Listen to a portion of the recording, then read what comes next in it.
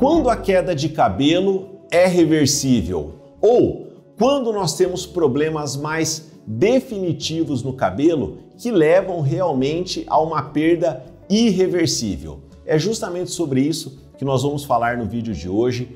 Essa é uma dúvida muito frequente para quem começa a sofrer de perda capilar ou mesmo para aquela pessoa que vai iniciar um tratamento. Então é fundamental que você entenda o que leva ou não a uma perda capilar mais permanente, até para que você saiba quais são as possibilidades com o seu tratamento. Se talvez no seu caso o objetivo é basicamente estabilizar a perda capilar e não deixar ela progredir, ou se sim, nós temos a capacidade de, com o tratamento, reverter o processo de perda capilar e que o cabelo volte a crescer é, de maneira plena novamente.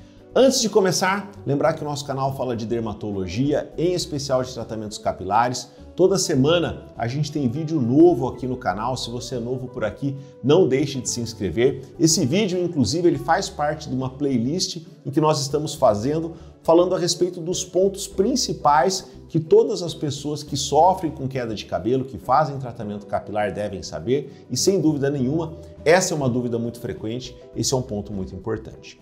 Bom, mas antes de dizermos aí quais são as causas de perda permanente ou de perda transitória de cabelo, é importante que a gente tenha é, um conhecimento global da estrutura da raiz do cabelo e de como ela funciona. Porque a raiz do cabelo ela tem um comportamento cíclico. O que isso quer dizer? A raiz do cabelo ela passa um período de produção da haste. Essa fase nós chamamos de anágena. E a raiz do cabelo que está na fase anágena, ela produz ativamente o fio do cabelo. Na média, o nosso fio de cabelo cresce um centímetro por mês, mais ou menos. E essa fase anágena dura entre 3 a 6 anos, mais ou menos. Então, nesse processo de fase anágena de produção da haste, o cabelo é produzido ativamente por aquela raiz de cabelo e não tem queda de cabelo. Porém, essa fase anágena vai chegar a um fim, ela não é eterna e isso é normal. Quando a raiz do cabelo chega no final da fase anágena, o cabelo é desprendido numa fase que nós chamamos de telógena. Então, o folículo, a raiz do cabelo, quando ele está na fase telógena, ao fim da fase telógena, a raiz do a, ou a haste de cabelo é desprendida da raiz e a partir daí o cabelo vai começar uma nova fase anágena. Por isso que nós falamos que é um ciclo. Ele tem um momento de crescimento, de queda e de reinício com um novo cabelo. Isso é diferente, por exemplo, das unhas. A unha, a matriz da unha que produz a unha não tem um comportamento cíclico. Normalmente a nossa unha não cai, ela está sempre numa fase ativa de produção. E no cabelo, nós temos normalmente essa fase cíclica. E por isso que é normal uma pessoa que não tem nenhum problema de queda de cabelo, que todo dia ela observa um pouco de cabelo caindo, que são esses cabelos que naturalmente estão caindo ao final da fase anágena, já, que já foram para a fase telógena e aí se desprendendo. Quando que nós começamos a ter problema? Então, quando que isso pode gerar uma perda mais permanente de cabelo? Quando o cabelo vai começar a fase anágena, a raiz do cabelo vai começar essa fase anágena, a fase de produção, e a gente tem uma alteração na raiz do cabelo. Muitas vezes isso acontece por um dano no, no, que nós chamamos de células tronco. As células tronco são células que têm o potencial de se diferenciar em outros tipos de célula e elas são fundamentais no início desse processo da fase anágena para a nova formação do folículo, para a nova formação da raiz do cabelo. Ou seja, o cabelo cai naquela fase telógena, que seria normal, porém, ao invés de nós termos a produção de um novo fio de cabelo, pela falta das células tronco, a raiz do cabelo é lesada em definitiva e não é produzido nenhum cabelo nessa região. Então, com isso em mente, já fica fácil a gente entender quais tipos de alteração que podem levar a um dano mais permanente, ou seja, um dano definitivo, e também quais tipos de alteração não vão levar, não têm um potencial de levar a um dano definitivo. Por exemplo, nós temos algumas causas de queda de cabelo que alteram o ciclo de crescimento do cabelo. Eu não falei para vocês que a fase anágena dura 3, 6 anos? Por exemplo, alguns problemas de saúde levam a um encurtamento dessa fase anágena. E aí a pessoa percebe muito cabelo caindo, porque a fase anágena está mais curta, mais hastes estão entrando na fase telógena e muito cabelo está caindo. Porém, não existe nenhum dano na raiz do cabelo. Esse cabelo cai e logo na sequência uma nova haste começa a ser produzida. Essa é a situação, por exemplo, que ocorre na queda de cabelo após o Covid. Nós temos vídeos aqui falando a respeito de queda de cabelo do Covid, queda de cabelo após a dengue, ou a queda de cabelo que acontece após o período de, um pós-parto. Tanto os quadros infecciosos quanto a alteração hormonal que acontece no organismo da mulher após o parto levam essa alteração do ciclo, porém, as células tronco, a raiz do cabelo é preservada. Portanto, nesse caso, a queda de cabelo é totalmente reversível. E nessas situações, se após um período de 3 a 6 meses a pessoa mantiver a queda ou não houver um crescimento é, capilar satisfatório, nós temos que investigar outros problemas associados. Um outro exemplo de doença frequente do couro cabeludo, que a princípio não leva um dano permanente, é a alopecia areata. A alopecia areata ela faz uma inflamação na raiz do cabelo. Porém, essa inflamação da alopecia areata não lesa as células tronco, que são importantes aí na reconstituição da raiz do cabelo. A partir do momento que nós controlamos a inflamação da alopecia areata, o cabelo volta a crescer normalmente. Por isso que pessoas que sofrem com alopecia areata, e algumas pessoas têm uma perda muito extensa de cabelo, às vezes perdem todos os cabelos do couro cabeludo, todos os pelos do corpo, e mesmo assim é possível reverter e a pessoa pode ter todos esses cabelos e todos esses pelos de volta. Quando nós conseguimos, isso é uma grande satisfação, é uma grande alegria. E nos casos, né, alguns casos também nós não conseguimos esse ótimo resultado, mas não é porque houve um dano permanente no folículo, mas nós não conseguimos porque a gente não consegue, por algum motivo, controlar essa inflamação de maneira adequada. Então, pessoas, por exemplo, que sofrem com alopecia areata tendem a ter é, uma capacidade de repilação plena. Novamente, nem sempre nós conseguimos, mas sempre é essa a meta. Lembrando que nós temos muitos vídeos aqui, pessoal, falando a respeito da alopecia areata, é, do eflúvio, a gente explica essa queda do, do, fio que se desprende da raiz, mas que não tem dano na raiz. Nós vamos deixar uns links aí que complementam muito o que eu estou explicando no vídeo de hoje. Falamos da alopecia areata, que é um processo inflamatório. Porém, nós temos um grupo de doenças do couro cabeludo que nós chamamos de alopecias cicatriciais, e elas também levam a uma inflamação na raiz do cabelo.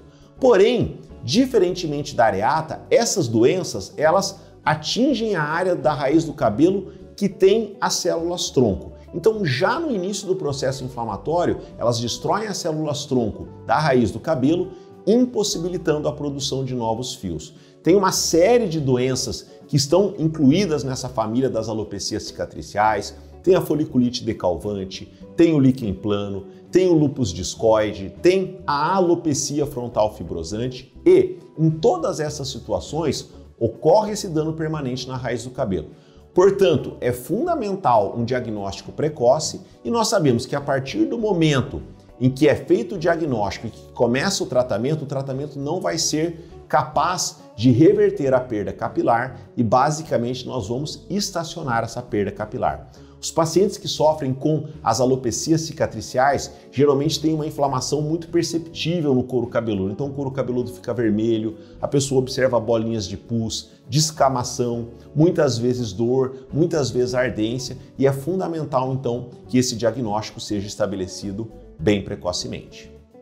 Bem, agora nós vamos falar então do processo de calvície, a alopecia androgenética que acomete tanto homens quanto as mulheres. Lembrar que a mulher também sofre com o processo de calvície, porém a mulher tem uma rarefação mais difusa dos cabelos em toda a região superior do couro cabeludo. Diferente do homem, geralmente a mulher não tem aquela perda localizada na região das entradas ou na região da coroa. Bom, também temos vários vídeos aqui no canal falando a respeito da alopecia androgenética mas basicamente no vídeo de hoje nós vamos falar até que ponto ela é reversível ou não. Bem, no caso da alopecia androgenética, basicamente o que nós temos é uma miniaturização do folículo, da raiz do cabelo.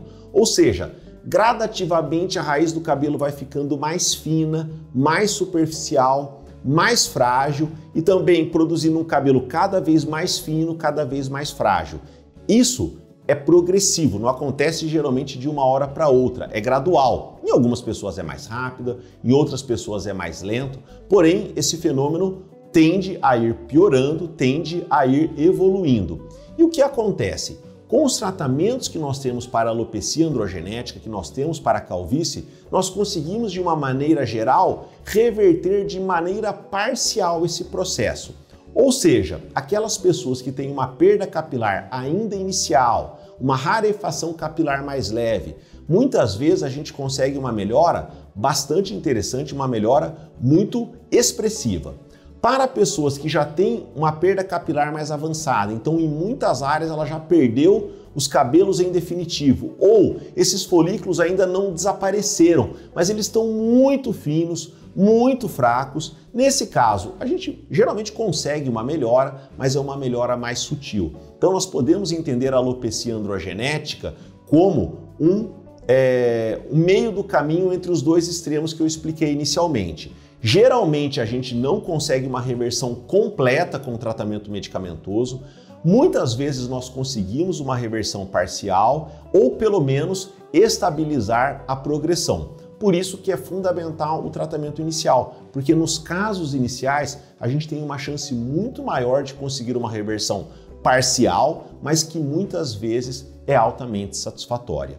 Tudo que eu falei até aqui, pessoal, foi levando em conta o tratamento medicamentoso. Existe também a possibilidade do transplante de cabelo, lembrando que para as alopecias cicatriciais é fundamental que aquele processo inflamatório esteja bem controlado e de preferência por um longo período, em linhas gerais em torno de dois anos, porque há o risco que esse processo inflamatório volte. E no caso da calvície, do processo da alopecia androgenética, também que essa perda capilar esteja estabilizada com o tratamento e se a gente não teve uma resposta satisfatória, sem dúvida, ele pode ser complementado com o transplante capilar. Por que todos esses pontos que nós conversamos são muito importantes? Primeiro, para que você entenda no seu caso, o que é possível ou não que a gente atinja com o tratamento, até para que não exista é, grandes frustrações. Em alguns casos, infelizmente, nós vamos trabalhar por uma estabilização, já em outros, a gente tem uma meta real é, de uma melhora mais intensa e até também para que você entenda diferenças na resposta. Então, talvez um amigo, um vizinho, um conhecido, um familiar teve um quadro, por exemplo, de eflúvio muito intenso, uma queda intensa de cabelo, mas nós sabemos que é uma situação totalmente reversível e depois de alguns meses tudo voltou ao normal e o cabelo cresceu rapidamente. Talvez que você que já sofra com alopecia androgenética, nós teremos um tratamento de mais longo prazo, de uma reversão parcial, isso não pode gerar uma grande ansiedade, porque são situações diferentes, com tratamentos diferentes e expectativas de respostas diferentes. E além de tudo isso, nós temos a individualidade. Então, para tudo isso que eu falei, tem pessoas que respondem melhor, tem pessoas que respondem mais rápido, porém, essas limitações conforme o tipo de diagnóstico e as alterações que acontecem na raiz do cabelo, isso é universal, então são conceitos bem importantes. Se você gostou do nosso vídeo, não deixe de curtir, não deixe de compartilhar. Se você ainda não é inscrito no canal, faça sua inscrição, porque toda semana nós temos vídeos novos por aqui. Nos vemos no próximo vídeo.